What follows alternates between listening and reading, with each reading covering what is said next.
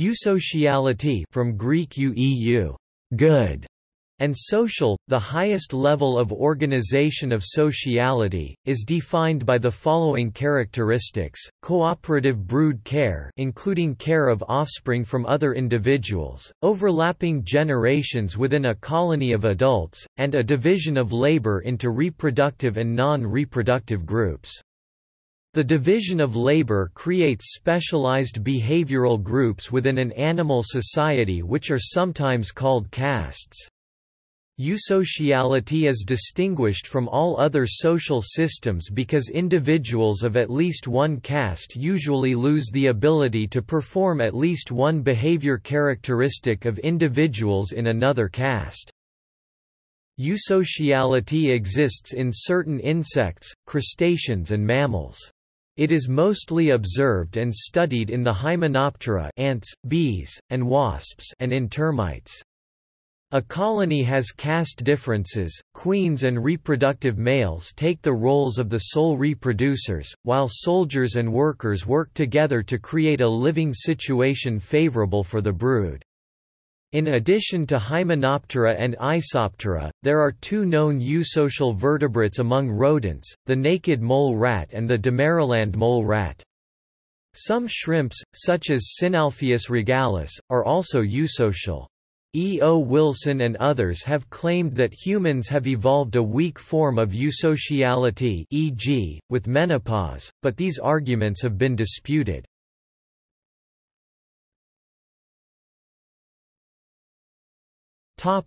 History The term, eusocial was introduced in 1966 by Suzanne Batra, who used it to describe nesting behavior in halictine bees.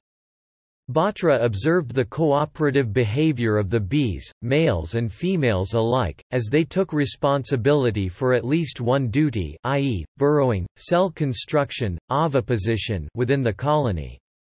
The cooperativeness was essential as the activity of one labor division greatly influenced the activity of another.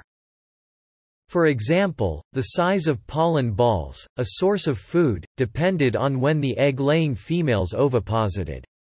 If the provisioning by pollen collectors was incomplete by the time the egg-laying female occupied a cell and oviposited, the size of the pollen balls would be small, leading to small offspring.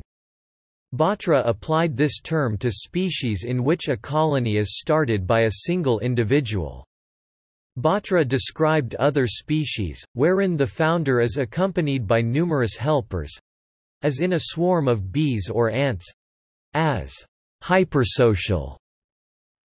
In 1969, Charles D. Michener further expanded Batra's classification with his comparative study of social behavior in bees. He observed multiple species of bees in order to investigate the different levels of animal sociality, all of which are different stages that a colony may pass through. Eusociality, which is the highest level of animal sociality a species can attain, specifically had three characteristics that distinguished it from the other levels. Egg layers and worker-like individuals among adult females. Division of labor.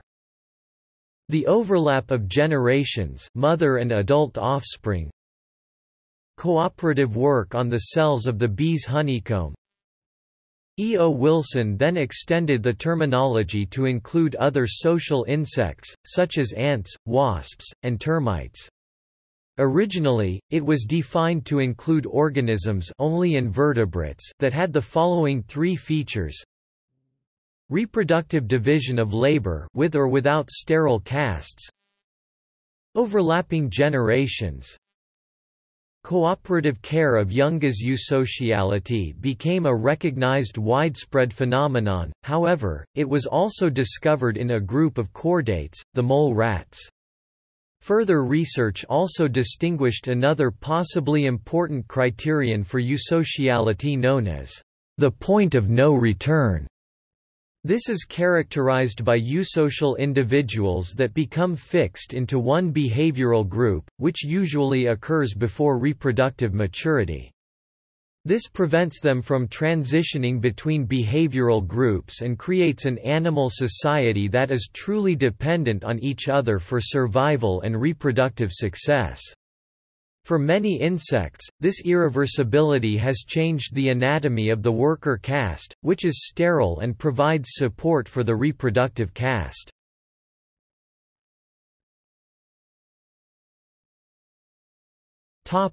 Taxonomic range Most eusocial societies exist in arthropods, while a few are found in mammals.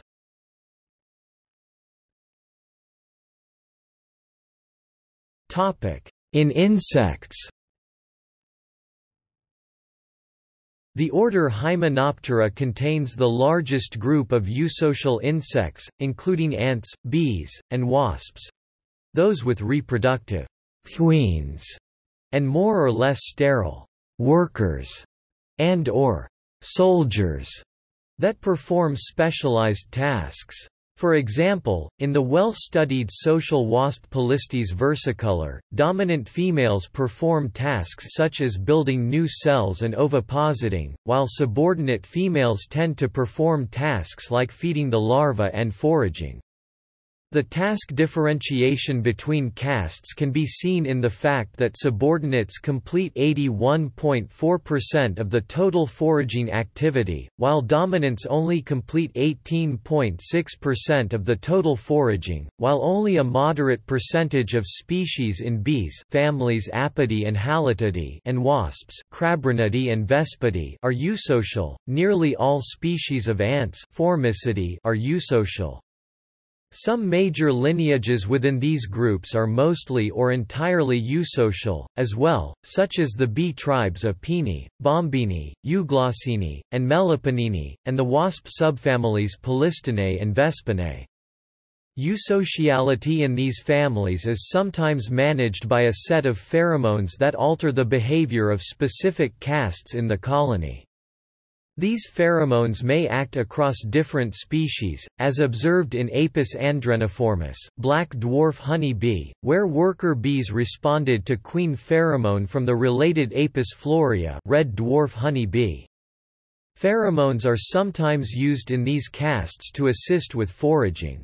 Workers of the Australian stingless bee Tetragonula carbonaria, for instance, mark food sources with a pheromone, helping their nest mates to find the food. Reproductive specialization generally involves the production of sterile members of the species, which carry out specialized tasks to care for the reproductive members. It can manifest in the appearance of individuals within a group whose behavior or morphology is modified for group defense, including self-sacrificing behavior altruism.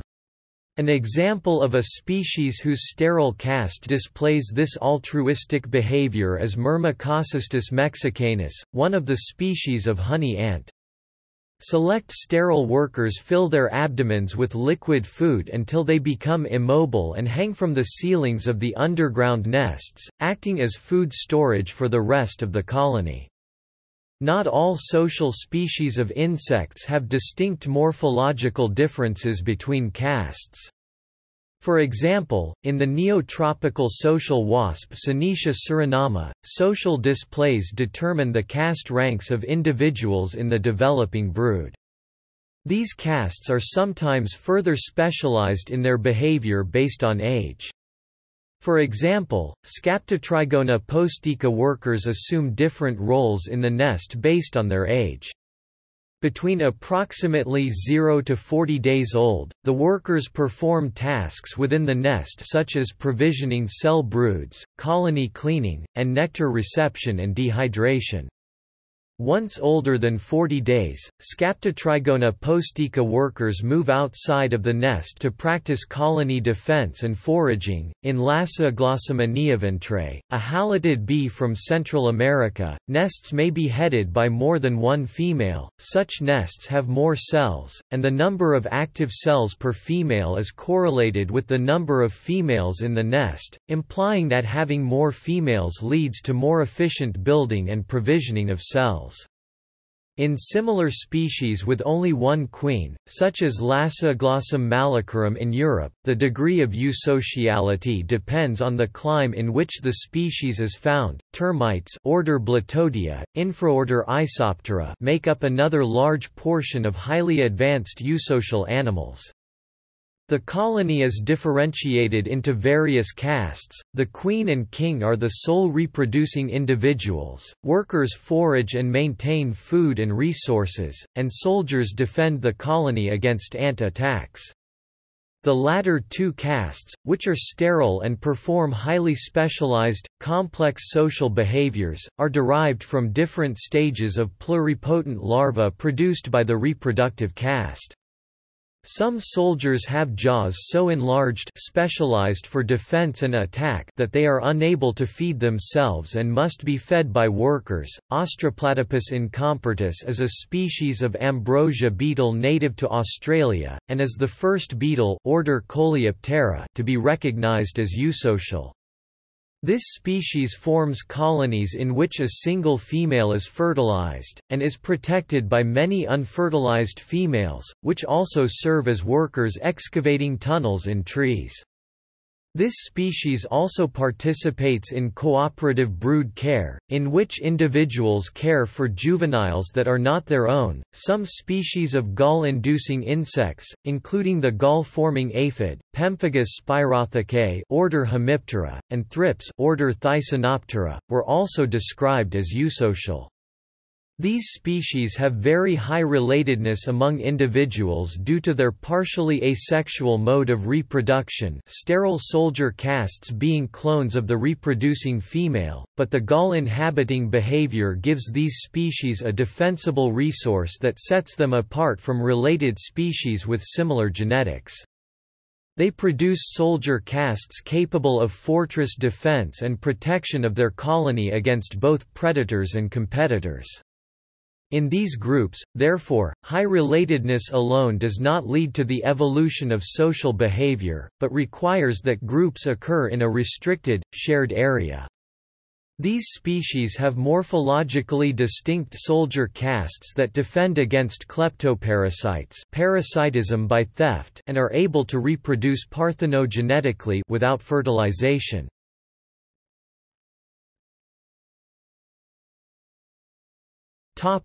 In crustaceans Eusociality has also arisen three different times among some crustaceans that live in separate colonies. Synalpheus regalis, Synalpheus filidigitus, and Synalpheus chacei, three species of parasitic shrimp that rely on fortress defense and live in groups of closely related individuals in tropical reefs and sponges, live eusocially with a single breeding female and a large number of male defenders, armed with enlarged snapping claws. As with other eusocial societies, there is a single shared living space for the colony members, and the non-breeding members act to defend it. The fortress defense hypothesis additionally points out that because sponges provide both food and shelter, there is an aggregation of relatives because the shrimp do not have to disperse to find food, and much competition for those nesting sites. Being the target of attack promotes a good defense system soldier caste. Soldiers therefore promote the fitness of the whole nest by ensuring safety and reproduction of the queen. Eusociality offers a competitive advantage in shrimp populations. Eusocial species were found to be more abundant, occupy more of the habitat, and use more of the available resources than non-eusocial species. Other studies add to these findings by pointing out that cohabitation was more rare than expected by chance, and that most sponges were dominated by one species, which was frequently eusocial.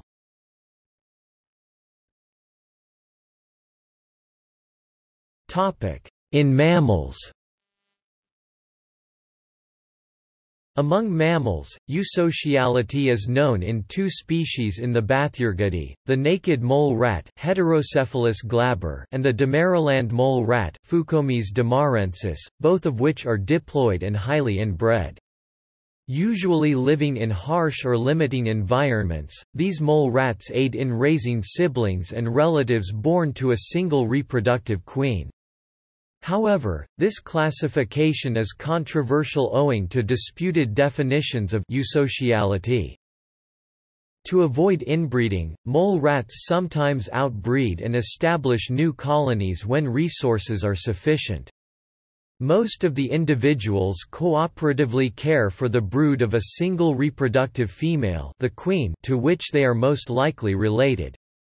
Thus, it is uncertain whether mole rats classify as true eusocial organisms, since their social behavior depends largely on their resources and environment. Some mammals in the carnivora and primates exhibit eusocial tendencies, especially meerkats Suricata suricatta and dwarf mongooses Helogale parvula. These show cooperative breeding and marked reproductive skews. In the dwarf mongoose, the breeding pair receives food priority and protection from subordinates and rarely has to defend against predators.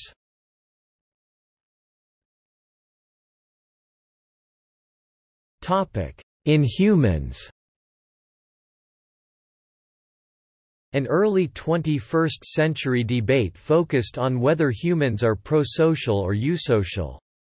Edward O. Wilson called humans eusocial apes, arguing for similarities to ants, and observing that early hominins cooperated to rear their children while other members of the same group hunted and foraged. Wilson argued that through cooperation and teamwork, ants and humans form superorganisms. Wilson's claims were vigorously rejected because they were based on group selection and reproductive division of labor in humans. However, it has been claimed that suicide, male homosexuality, and female menopause evolved through kin selection, which, if true, would by some definitions make humans eusocial.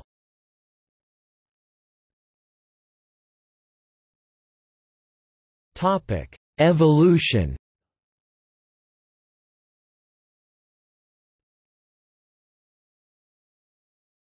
Topic: Phylogenetic distribution.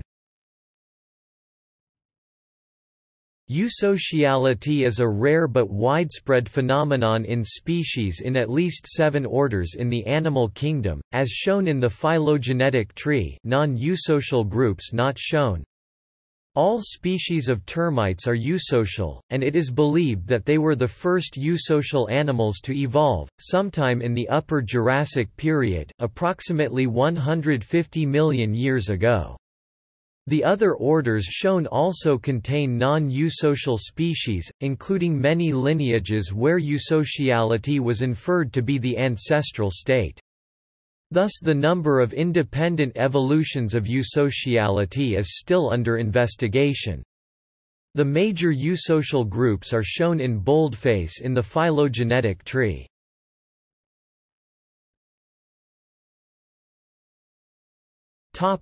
Paradox Prior to the gene-centered view of evolution, eusociality was seen as an apparent evolutionary paradox. If adaptive evolution unfolds by differential reproduction of individual organisms, how can individuals incapable of passing on their genes evolve and persist? In On the Origin of Species, Darwin referred to the existence of sterile castes as the one special difficulty, which at first appeared to me insuperable, and actually fatal to my theory. Darwin anticipated that a possible resolution to the paradox might lie in the close family relationship, which W.D. Hamilton quantified a century later with his 1964 inclusive fitness theory. After the gene-centered view of evolution was developed in the mid-1970s, non-reproductive individuals were seen as an extended phenotype of the genes, which are the primary beneficiaries of natural selection. Topic inclusive fitness and haplodiploidy According to inclusive fitness theory, organisms can gain fitness not just through increasing their own reproductive output, but also via increasing the reproductive output of other individuals that share their genes, especially their close relatives. Individuals are selected to help their relatives when the cost of helping is less than the benefit gained by their relative multiplied by the fraction of genes that they share, i.e. when cost in haplodiploid species, females develop from fertilized eggs and males develop from unfertilized eggs. Because a male is haploid, his daughters share 100% of his genes and 50% of their mother's. Therefore, they share 75% of their genes with each other. This mechanism of sex determination gives rise to what W. D. Hamilton first termed super sisters which are more related to their sisters than they would be to their own offspring. Even though workers often do not reproduce, they can potentially pass on more of their genes by helping to raise their sisters than they would by having their own offspring each of which would only have 50% of their genes. This unusual situation, where females may have greater fitness when they help rear siblings rather than producing offspring, is often invoked to explain the multiple independent evolutions of eusociality arising at least nine separate times within the haplodiploid group Hymenoptera. However, not all eusocial species are haplodiploid termites, some snapping shrimps, and mole rats are not. Conversely, many bees are haplodiploid yet are not eusocial, and among eusocial species many queens mate with multiple males, resulting in a hive of half-sisters that share only 25% of their genes. The association between haplodiploidy and eusociality is below statistical significance. Haplodiploidy alone is thus neither necessary nor sufficient for eusociality to emerge. However relatedness does still play a part, as monogamy queens mating singly has been shown to be the ancestral state for all eusocial species so far investigated.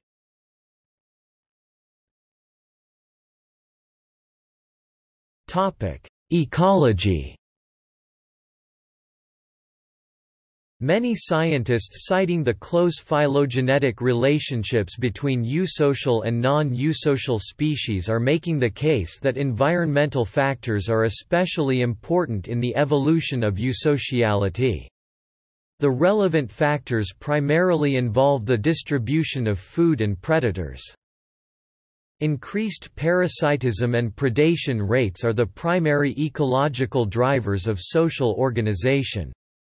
Group living affords colony members defense against enemies, specifically predators, parasites, and competitors, and allows them to gain advantage from superior foraging methods. With the exception of some aphids, all eusocial species live in a communal nest which provides both shelter and access to food resources.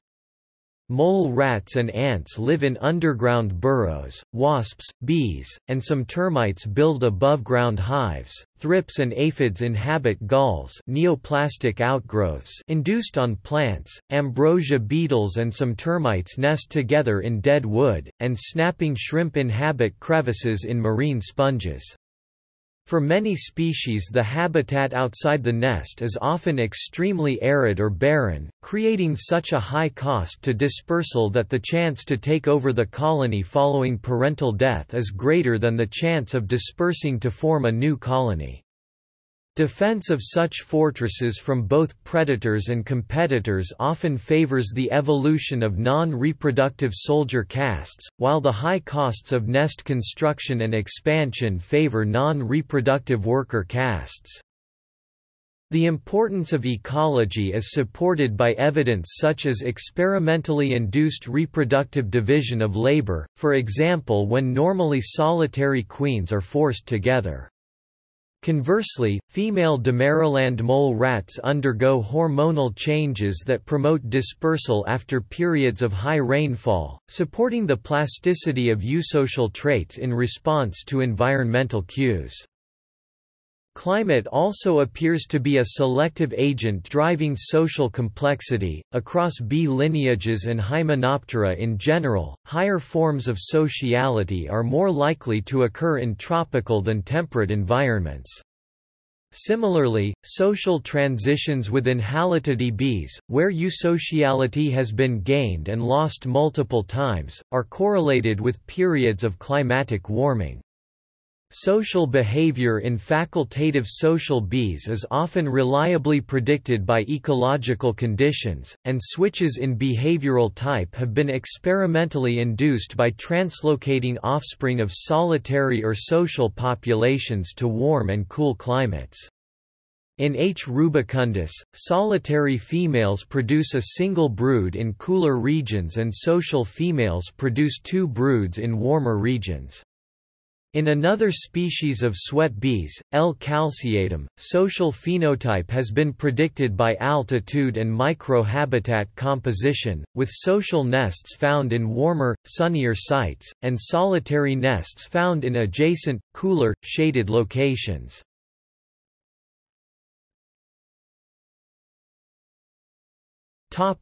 Multi-level selection Once pre-adaptations such as group formation, nest building, high cost of dispersal, and morphological variation are present, between group competition has been cited as a quintessential force in the transition to advanced eusociality. Because the hallmarks of eusociality will produce an extremely altruistic society, such groups will out-reproduce their less cooperative competitors, eventually eliminating all non-eusocial groups from a species. Multi-level selection has however been heavily criticized by some for its conflict with the kin selection theory.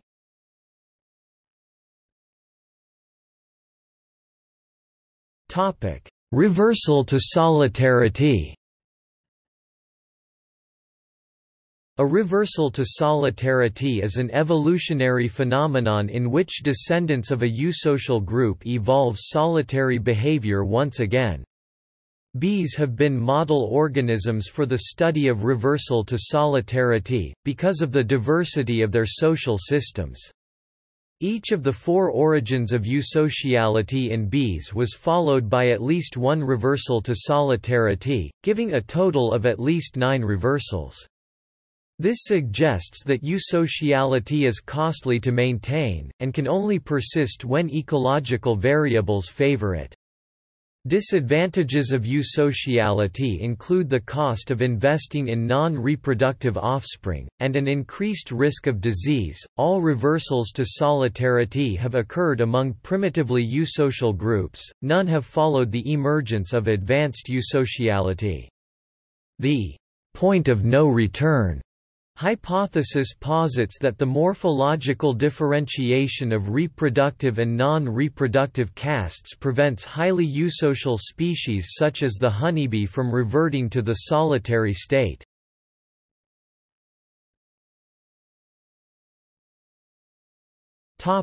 Physiological and developmental mechanisms An understanding of the physiological causes and consequences of the eusocial condition has been somewhat slow, nonetheless, major advancements have been made in learning more about the mechanistic and developmental processes that lead to eusociality.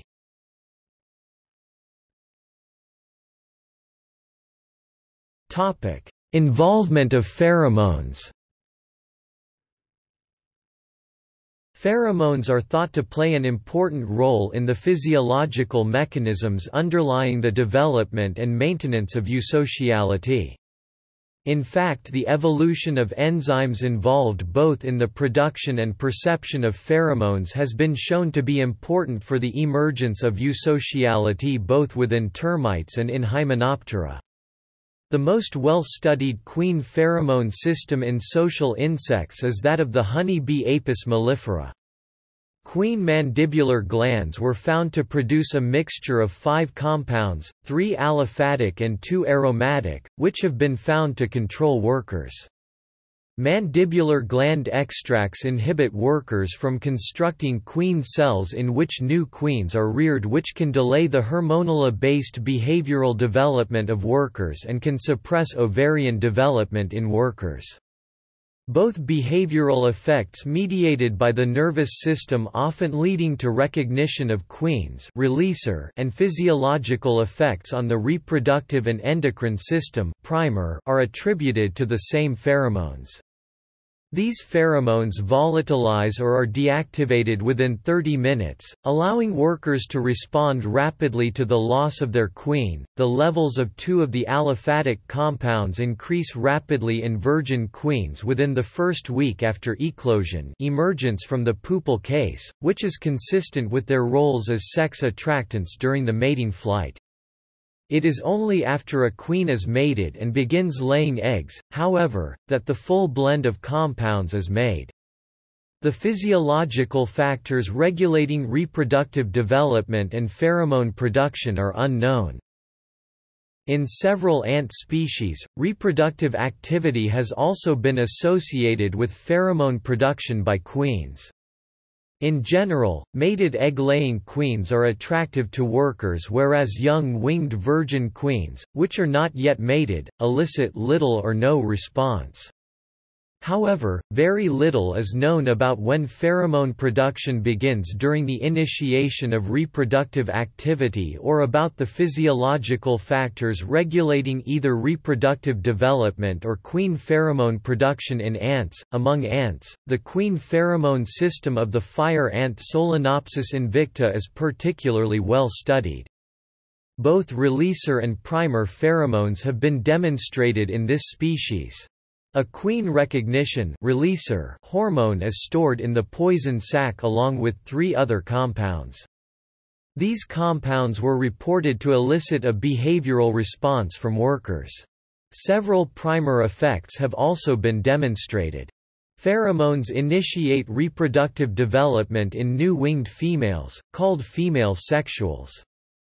These chemicals also inhibit workers from rearing male and female sexuals, suppress egg production in other queens of multiple queen colonies and cause workers to execute excess queens. The action of these pheromones together maintains the eusocial phenotype which includes one queen supported by sterile workers and sexually active males drones. In queenless colonies that lack such pheromones, winged females will quickly shed their wings, develop ovaries and lay eggs. These virgin replacement queens assume the role of the queen and even start to produce queen pheromones.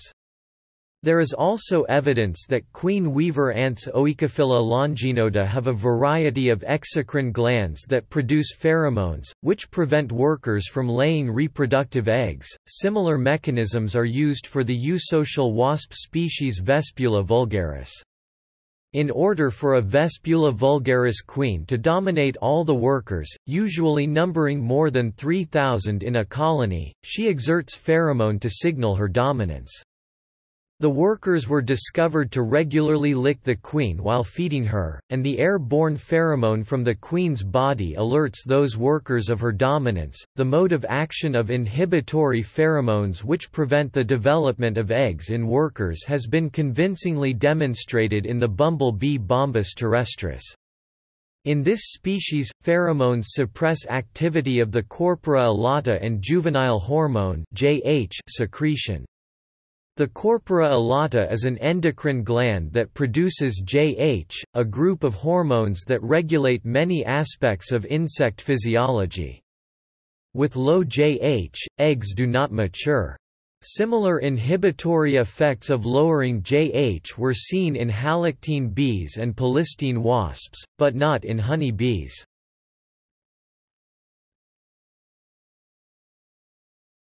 Topic: other strategies A variety of strategies in addition to the use of pheromones have evolved that give the queens of different species of social insects a measure of reproductive control over their nest mates. In many Polistes wasp colonies, monogyny is established soon after colony formation by physical dominance interactions among foundresses of the colony including biting, chasing and food soliciting. Such interactions created a dominance hierarchy headed by individuals with the greatest ovarian development. Larger, older individuals often have an advantage during the establishment of dominance hierarchies. The rank of subordinates is positively correlated with the degree of ovarian development and the highest-ranking individual usually becomes queen if the established queen disappears. Workers do not oviposit when queens are present because of a variety of reasons. Colonies tend to be small enough that queens can effectively dominate workers. Queens practice selective oophagy or egg eating, or the flow of nutrients favors queen over workers and queens rapidly lay eggs in new or vacated cells.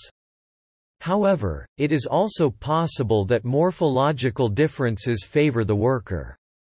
In certain species of wasps, such as Apoica flavissima queens are smaller than their worker counterparts. This can lead to interesting worker-queen dynamics, often with the worker policing queen behaviors. Other wasps, like Polistes instabilis have workers with the potential to develop into reproductives, but only in cases where there are no queens to suppress them. In primitively eusocial bees where castes are morphologically similar and colonies usually small and short-lived, queens frequently nudge their nest mates and then burrow back down into the nest. This behavior draws workers into the lower part of the nest where they may respond to stimuli for cell construction and maintenance. Being nudged by the queen may play a role in inhibiting ovarian development and this form of queen control is supplemented by oophagy of worker-laid eggs. Furthermore, temporally discrete production of workers and gynes actual or potential queens can cause size dimorphisms between different castes as size is strongly influenced by the season during which the individual is reared. In many wasp species worker caste determination is characterized by a temporal pattern in which workers precede non-workers of the same generation. In some cases, for example in the bumble bee, queen control weakens late in the season and the ovaries of workers develop to an increasing extent. The queen attempts to maintain her dominance by aggressive behavior and by eating worker-laid eggs. Her aggression is often directed towards the worker with the greatest ovarian development. In highly eusocial wasps, where castes are morphologically dissimilar, both the quantity and quality of food seem to be important for caste differentiation. Recent studies in wasps suggest that differential larval nourishment may be the environmental trigger for larval divergence into one of two developmental classes destined to become either a worker or a gyne. All honey bee larvae are initially fed with royal jelly, which is secreted by workers, but normally they are switched over to a diet of pollen and honey as they mature. If their diet is exclusively royal jelly, however, they grow larger than normal and differentiate into queens. This jelly seems to contain a specific protein, designated as royalactin, which increases body size, promotes ovary development and shortens the developmental time period. Furthermore, the differential expression in Polistes of larval genes and proteins also differentially expressed during queen versus caste development in honey bees indicate that regulatory mechanisms may occur very early in development.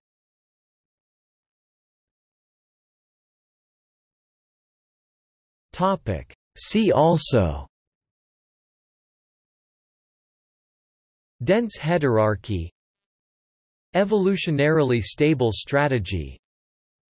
Gyne Patterns of self-organization in ants. Reciprocity social psychology. Stigmergy. Ant colony optimization ACO Bee colony optimization Task allocation and partitioning of social insects. International Union for the Study of Social Insects